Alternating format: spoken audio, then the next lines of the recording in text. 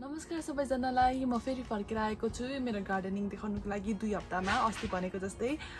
यो दुई हप्तामा तपाईँलाई थाहा छँदैछ घाम लागेर सबै चिजहरू छिटो छिटो उम्लिँदैछ त्यसैले धेरै ठुलो भएको छ चिजहरू। अनि बोटहरू पनि हामीले यताउति सारिसकेको छौँ त्यसैले त्यही अपडेट देखाउनुको लागि म तपाईँहरूलाई फेरि भिडियो देखाएको। त्यसैले अब भिडियो सुरु गरौँ ओके? अब यहाँदेखि म तपाईँलाई देखाउँछु आजको भिडियो। यो भयो हाम्रो खोर्सानीको बोटहरू। अस्ति नै हामीले देखाएको थियौँ तपाईँलाई। कति सानो अस्तिको भिडियो हेर्नु होला। कति सानो सानो थियो। अहिले हेर्नुहोस्। त ठुल्ठुलो भएको छ। आज भनेको मे बिस तारिक एक्काइस तारिक हो अनि ठुल्ठुलो भएको छ यो बोटहरू। यो टनल टनलभित्रै छ स्टिल। हामी यो बाहिर लाँदैनौँ। यसलाई टनलभित्रै राख्छौँ। किनभने अब खोर्सानी भनेको बाहिर मर्नु पनि सक्छ जे पनि हुनसक्छ युकेमा के के हुन्छ वेदरहरूको भरोसा हुँदैन। त्यस कारणले गर्दा हामीले के के रोपेको छौँ?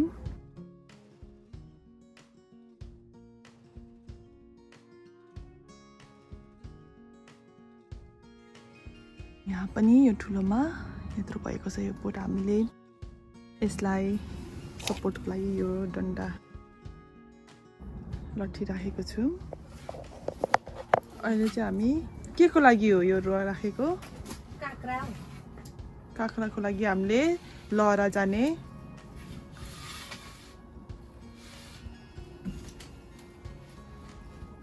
राखेको।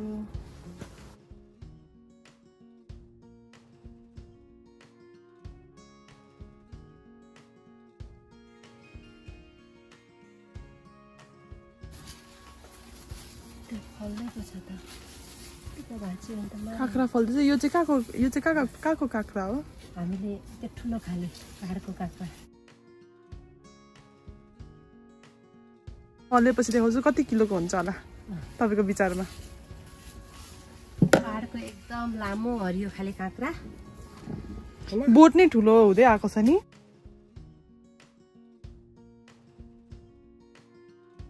छ हेर्नुहोस् त एकदमै ठुलो काँक्रा।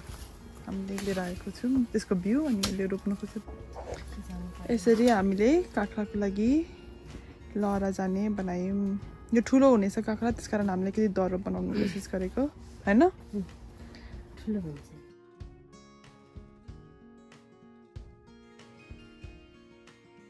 युकेमा हामी जति सक्दो अब फल फलाउन सक्छौँ त्यति फलाउँदैछौँ घाम भनेको दुई तिन महिना मात्र लाग्छ त्यसैले एकदमै हामीलाई जरुरी छ कि हामी यो दुई तिन महिना चाहिँ एकदमै धेरै काम गर्नुपर्ने हुन्छ हामीले।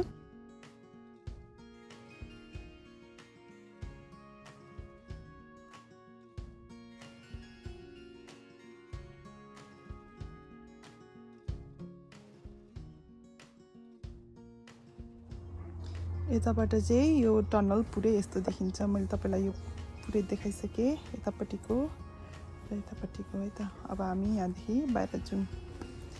यस्तो छ यो भित्रको टनल चाहिँ। अब अर्को टनलमा कस्तो के के उम्रेको छ म तपाईँलाई त्यो देखाउँछु है त। त्योभन्दा अगाडि यो टनलदेखि बाहिर हेर्नुहोस् त म तपाईँलाई यो हाम्रो निङ्ग्रे कस्तो थियो अस्ति दुई हप्ता अगाडि नै चिन्नै नसक्ने कति सानो सानो थियो होइन अहिले हेर्नुहोस् त कत्रो ठुलो भइसकेको छ। सिस्नु हेर्नुहोस् घामको किरणले छुएपछि चिजहरू यति मजाले हुर्किन्छ त्यसैले घाम कति जरुरी हुन्छ अहिले यो मे जुनमा हेर्नुहोस् त। कति छिटो हुर्केको यो निङ्ग्रेहरू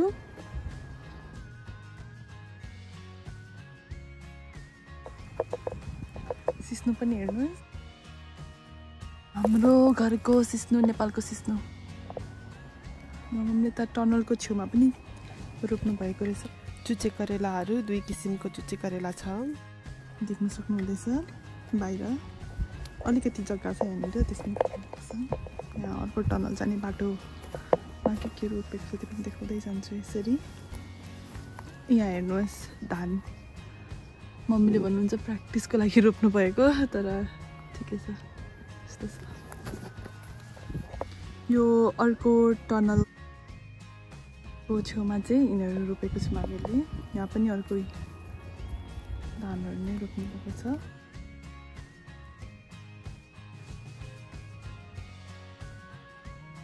Ciao, Manchego.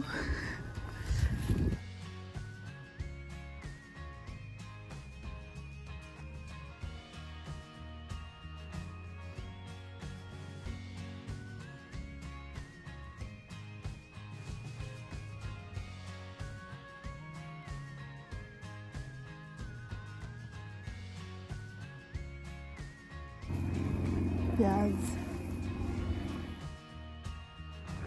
यो अघिकै टनलको यता पछाडिपट्टि चाहिँ के के रोपेको छ भने? हेर्नुहोस्। यसरी हामीले यहाँनिर लौकाहरू रोपेको छौँ यसरी।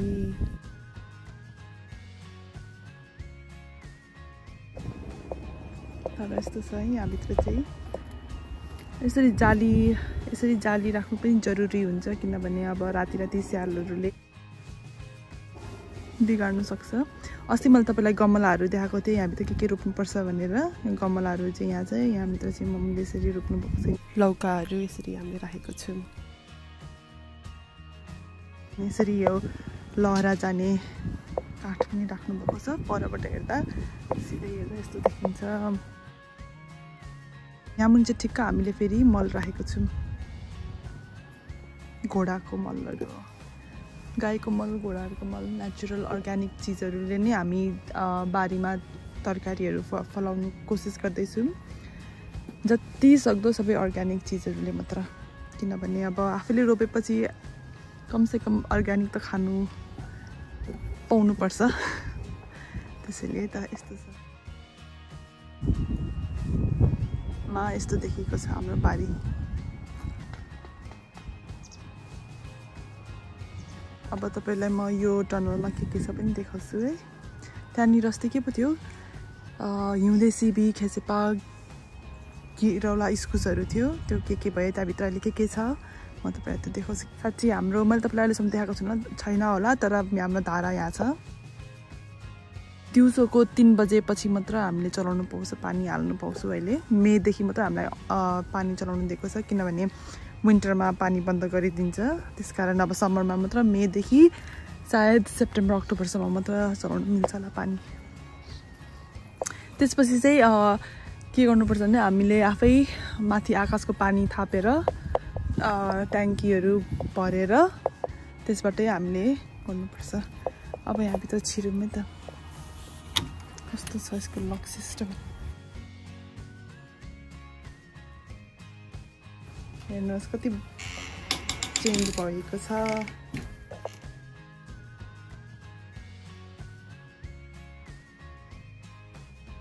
यहाँ माथि माथि पनि हामीले ऊ राखेको छौँ यसरी चिजहरू हरेक ठाउँमा हरेक ठाउँमा राखेको छौँ।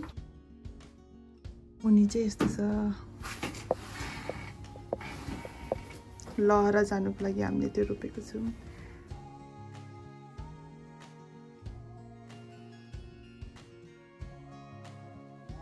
अन्डाको अन्डाको खोलहरू पनि यसरी राख्नुपर्छ राम्ररी मल हुन्छ।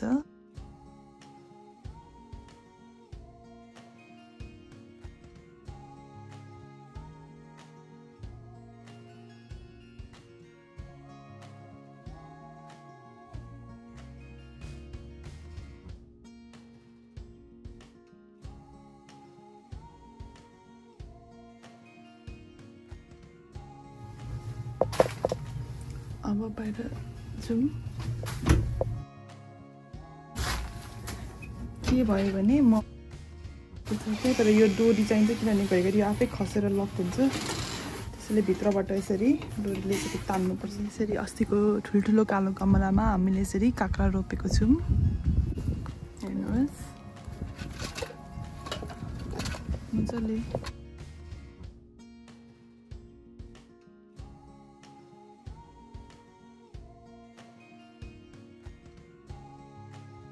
अब यतापट्टि यो हाम्रो पुरानो टनलको यतापट्टि। हेर्नु केल सब्जी फुलेको हेर्नुहोस् त कति मजाको देखिएको छ। अनि यो चाहिँ अगाडि चाहिँ ब्रोकली।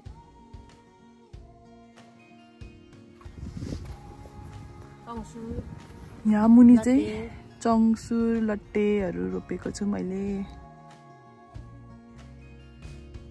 कतिको यहाँभित्र रोपेको खेसेपा हिउँदे सिबीहरू चाहिँ मम्मीले अहिले यता हामीले यता बाहिर बाहिर सारिसकेको छौँ हेर्नुहोस् बाहिर राख्ने समय आएको छ किनभने बाहिर पनि तातै हुन्छ अनि अर्को त यिनीहरूलाई ज्यादा बढ्ने लहरा ठाउँ पनि चाहिन्छ त्यस कारणले हामीले बाहिर लिएको छौँ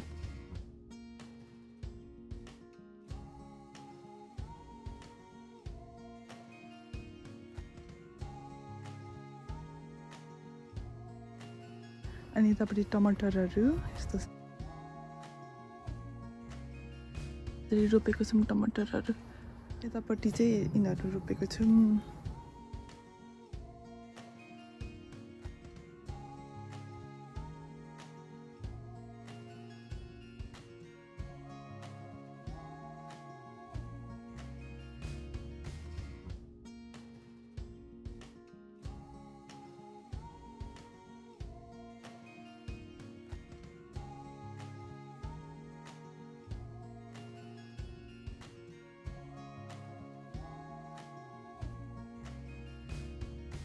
हेर्नुहोस् अस्तिको सानो सानो तोरीहरू कत्रो ठुलो भइसकेको फुलिसकेको छ हेर्नुहोस् त कति धेरै। हेर्नुहोस्। कत्रो अल्गो अल्गो भइसकेको छ। मैले उठेर खिच्दा पनि त्यत्रो अल्गो छ बसेर पनि कत्रो अल्गो देखिन्छ यिनीहरू हेर्नुहोस् त। कति बाक्लो र राम्रो फुलेको छ अहिले समय भएको कारणले यहाँ पनि लहरा लगाउनुको लागि हामीले यसरी राखेको छौँ।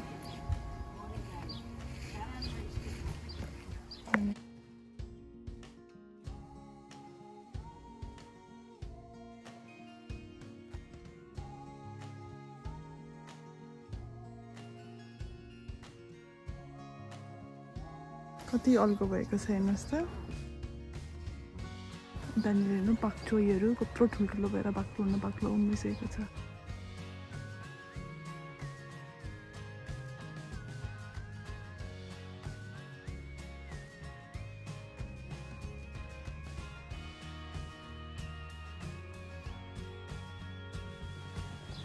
अब चाहिँ यो टनलभित्र छिरौँ हाम्रो अर्को टनलमा चाहिँ यो भेन्टाहरू रोपेको छौँ हामीले यसमा यति भागमा चाहिँ। यो भनेको चाहिँ हामी अस्ति केन्ट जाँदाखेरि हामीले यताको गार्डन सेन्टरबाट लिएर आएको भेन्टा हो लामो लामो खालके। अनि उम्रेको यति नै हो यसको। अनि यो चाहिँ तिते भेन्टा हो हामीले नेपालदेखि लिएर आएको। यो छ बोट एक दुई तिन चार पाँच छ। यो चाहिँ तिते भेन्टा हो। यत्रो भएको छ। यो चाहिँ अलिकति होचो छ है यो अलिकति अल्गो छ। अनि त्यो भयो। अनि यहाँनिर सबै यसको लागि लहरा जाने हामीले। खेस सिबीहरूको खेसेपाहरूको हामीले लहरा लगाउनुको लागि पनि यो जोडिसकेको छौँ भर्खरै। भर्खरै जोडेका पाँच मिनट मात्र हुँदैछ। अनि यो भयो यहाँनिर। अब यो टनलको अर्को साइडमा चाहिँ के छ? काँक्राहरू रोपेको छौँ। अनि त्यहाँनिर लामो लामो उहरू रोपेको छौँ। यो भयो काँक्राको लहराको लागि काँक्राको लहराको लागि राखेको यो।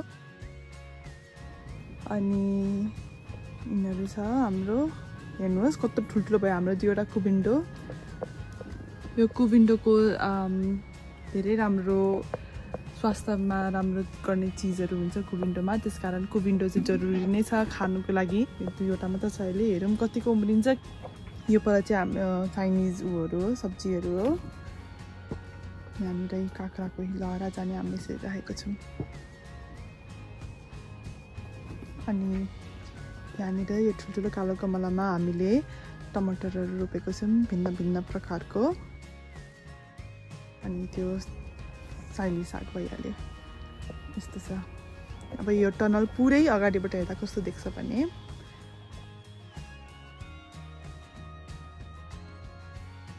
अझै यहाँनिर यो पनि यसरी हामीले लहर जानुको लागि राखेको छौँ।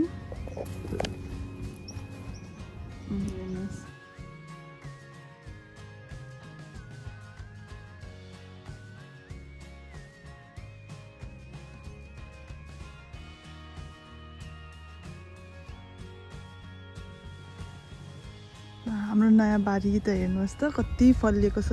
आलुहरू हेर्नु कत्रो ठुल्ठुलो भइसकेको छ। हामीले अस्ति मार्चमा रोपेको तपाईँहरूलाई नि भनेको थिएँ होइन। मार्च अन्तिमतिर रोपेको थिएँ मैले हेर्नु त। मे अन्तिम दुई महिनामा यत्रो ठुल्ठुलो भइसकेको छ। उतापट्टि हेर्नु कत्रो ठुल्ठुलो भइसकेको छ आलु। अब यत्रो ठुल्ठुलो भयो तर खाने बेला अझै भएको छैन। अझै एक दुई महिना त दुई महिना जस्तो त पर्खिनै पर्ने भएको छ। उम्रिन्जेलसम्म अनि म तपाईँहरूलाई यहाँ मलाई देखाउनु मन लागेको चिज चाहिँ मकै हो किनभने अस्तिको पालि आउँदाखेरि मकै अलिकति राम्ररी सानै थियो नि त त्यस कारण मकै राम्ररी तपाईँले देख्नु पाउनु भएन होला तर योपालि चाहिँ मैले मकै देखाउनुकै लागि यता लिएर आएको तपाईँलाई है। यो भयो हाम्रो मकै हेर्नुहोस् त कति धेरै। अनि वाउ! यसलाई भन्छ मकै उम्रेको।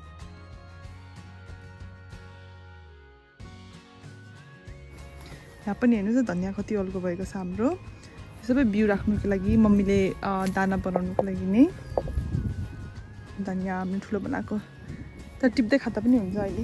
त्यस्तो भएको त छैन। यो हेर्नुहोस् यहाँनिर। यहाँ हाम्रो आरु आरु बखडाको रुखमा पनि फुलहरू उम्रिन थालेको छ। अब यहाँनिर पनि सायद एक दुई महिनामा फल पनि फुल्छ फल पनि आउँछ होला फल्छ होला। त्यसैले अब त्यो पनि पर्खिनै पर्छ है त।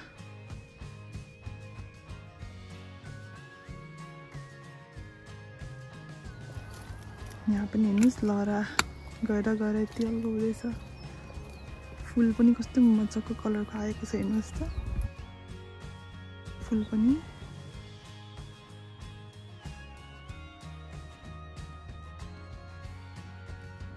यहाँ मुनि यो छ।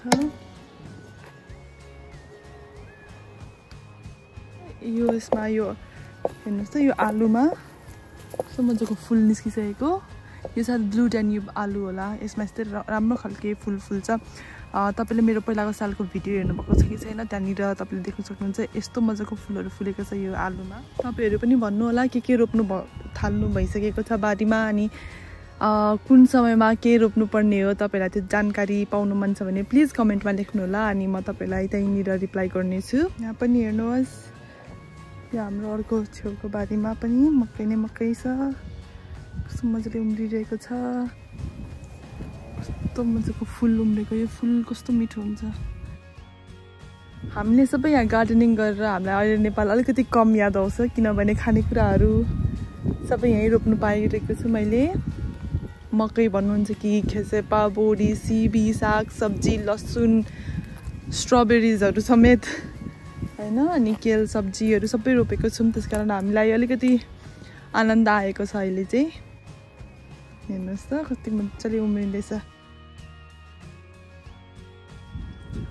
ओके सो आजलाई यति नै म अब फेरि अर्को महिना आउँछु अपडेट दिनुको लागि मेको लागि चाहिँ अब यति नै भयो अनि अर्को महिना अब मे आज बिस एक्काइस भइहाल्यो अर्को महिना अब दुई हप्तामै आइहाल्छ त्यस कारण म छिटै नै आउनेछु है त त्यति जेलसम्मको लागि राम्ररी बस्नु होला बाई बाई